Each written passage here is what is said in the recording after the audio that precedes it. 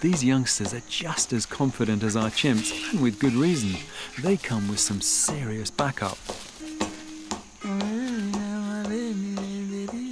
The males have teeth the size of your thumb, so most chimps know to treat them with respect. But Frodo's son Titan isn't most chimps. He's just like his dad, completely fearless.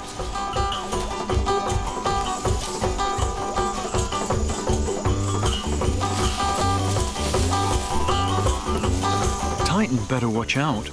A big baboon like that could have him for breakfast.